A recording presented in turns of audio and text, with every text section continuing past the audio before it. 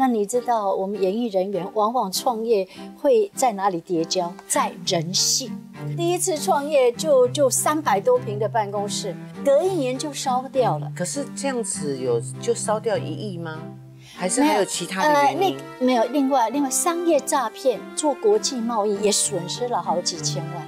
这一亿我看普通人有的人一百万都还不起啊，你搁加一亿，十七年，十七年花了十七年。之前真的是人生胜利组，因为我以前也很侥幸，真的是侥幸啊，就考上台大嘛。